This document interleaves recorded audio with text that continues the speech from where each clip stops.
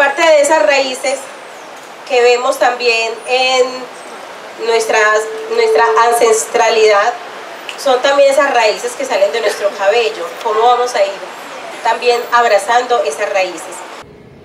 Afrowoman nace de la necesidad de, eh, acercarnos, ¿cierto?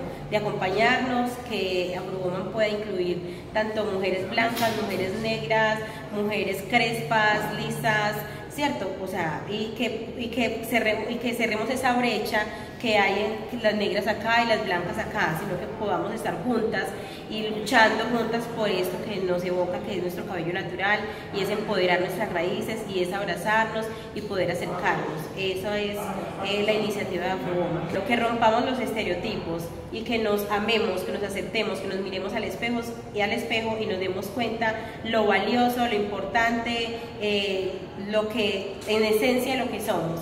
¿Sí? y que hagamos oídos sordos a lo que hemos escuchado toda la vida, que el negro es feo, que el negro es malo, que, o sea, todas esas cosas empezar a romper con eso desde la mente y desde el corazón. Afrowoman crea el encuentro de afrocrespudas precisamente para cerrar un poquito la brecha de decir encuentro de afros o encuentro de crespas, sino hacer un encuentro de afrocrespudas donde todas se sientan incluidas, todas se sientan identificadas y todas se sientan abrazadas. ¿sí? Entonces esa es la iniciativa el encuentro Afrocrespudas y poder tener un encuentro también con nosotras mismas porque vamos a tener un espacio bonito donde nos vamos a poder mirar al espejo y nos vamos a poder comprometer con nosotras mismas a amarnos, a aceptarnos y a vernos con los ojos de la perfección. Ninguna esmeralda es igual, ninguna piedra preciosa es igual.